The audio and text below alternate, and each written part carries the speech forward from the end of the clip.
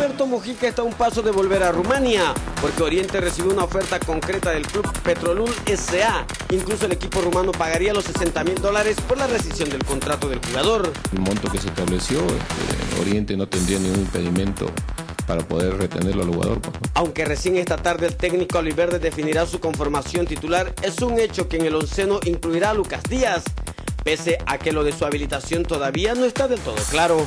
No ocupan cupo, sigue el conflicto, siguen siendo parte del club, pero con conflicto. Eso es lo que me dijeron. El argentino Daniel Girotti llega mañana y será el nuevo preparador físico. Clausen también informó que Nicolás Abot no debutará el domingo. Todavía eh, le falta físicamente. Sin Vargas por suspensión y Díaz por lesión, esta tarde Clausen define su equipo titular, donde lo único seguro es que Melgar, Arroyo y Argüello serán la contención. El profe por ahí nos está dando la oportunidad, esperemos aprovechar al máximo.